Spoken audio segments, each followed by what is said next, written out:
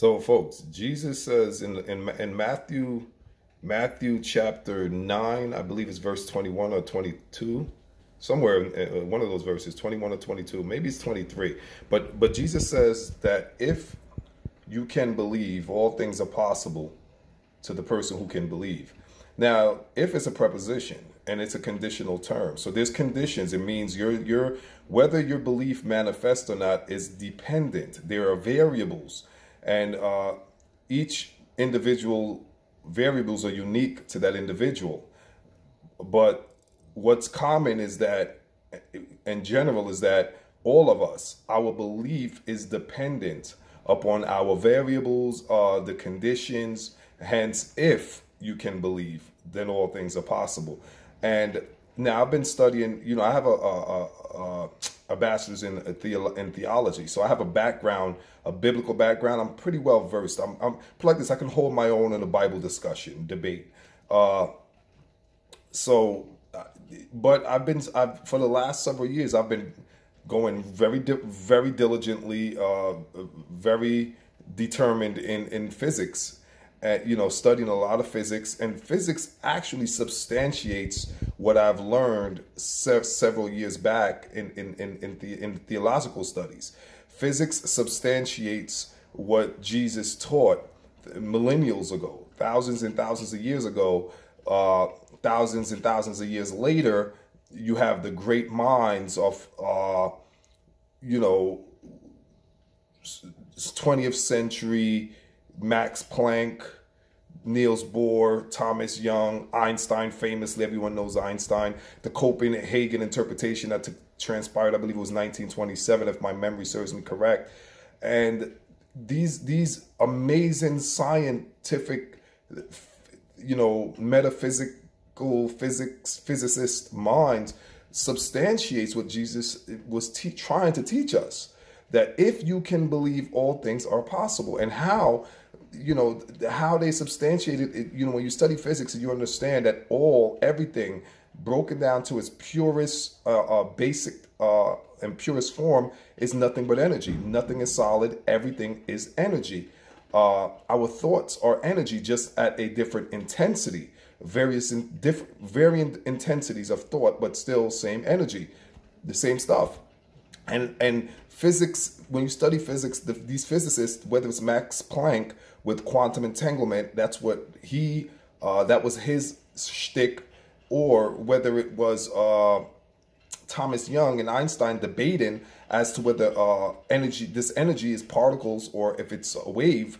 And then Niels Bohr, who was the mediator, right? Who who kind of you know was the uh, the fight brought around the, the finalization of uh, it's both, you know, it's which was called uh, wait wave particle duality. That was Niels Bohr. He that's his shtick.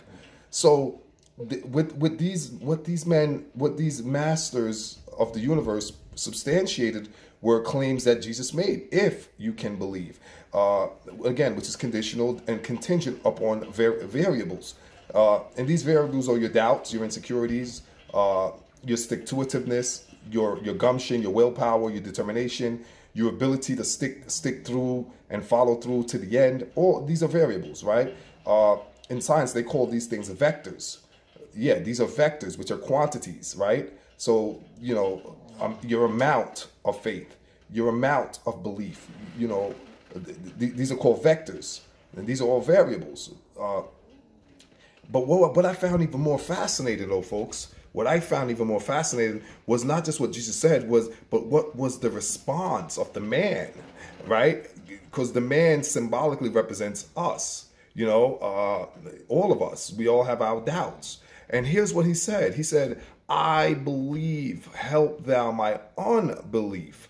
And when you study physics and, you know, these physicists, they teach you that your thoughts uh, that uh, interfaces directly with the sea of uh, energy in which we swim right you know how a, a, fish swims in an ocean that means its environment is its environment is made up of h2o completely there's always water around the fish Well, we are, imagine, use your imagination with me here. We are in our own ocean symbolically, but our ocean, unlike the fish, we can't see it.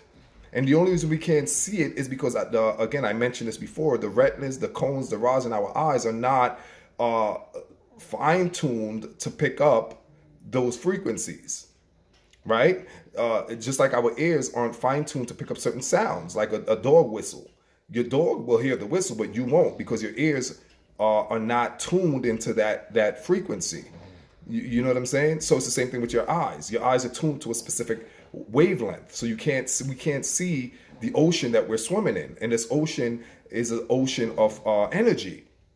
And our thoughts interact and connects and interfaces with this energy. So when you're thinking what you're doing is your thoughts are shifting this energy around, moving it. You're moving this energy around. And why is this important? It's important because this shifting of particles is what creates what we call reality. And these men prove that there's no such thing as objective reality.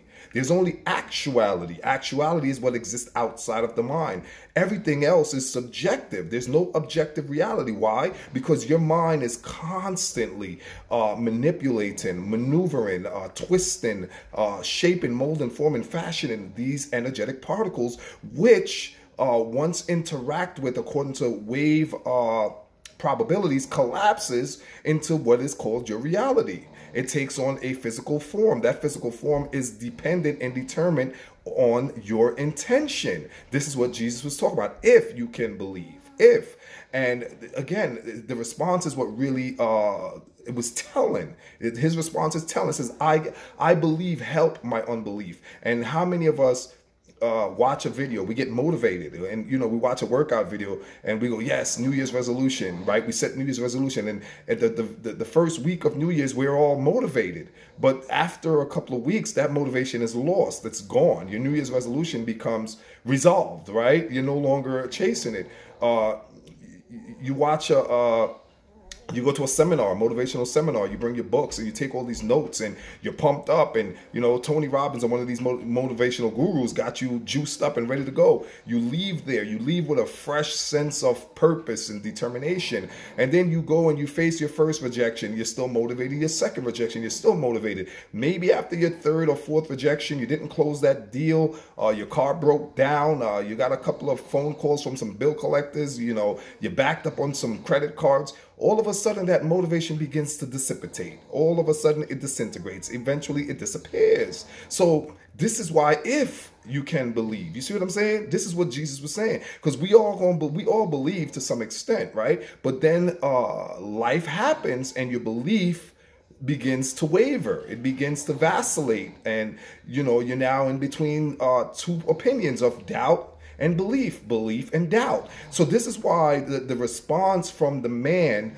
when he said, I believe, help my unbelief, is very telling and insightful. It is extremely insightful. It speaks volumes as to how, why and how and you know it just speaks volumes as to the human condition and it speaks volume as to why we don't achieve what we want to achieve. Because listen to what he says i believe conscious that's conscious thinking help my unbelief un on. Un is a, a what that would be a, a, prefix right? Usually what comes after un it tells you that it's under something right? Like the word under understand uh underperform. It, it, usually UN is a is a prefix that denotes that something is below, you know, so under, right? He said, help my belief. No, I believe, help my unbelief. That unbelief rests in your subconscious mind. And that on so you so all of us without exception, and if we're going to be honest with ourselves, this is what we got to understand. You might not be aware of it, so I want to make you aware. All of us believe to some extent. We have a conscious, a modicum of belief right? Uh, uh, we have a, a, a, modicum of belief and a plethora of unbelief. And that's why the, the, the response is so telling. We all have to understand that the reason we don't get things and the reason things don't manifest and the reason we can't reach certain goals is because under our conscious belief is our unbelief. And that unbelief conflicts with your conscious belief.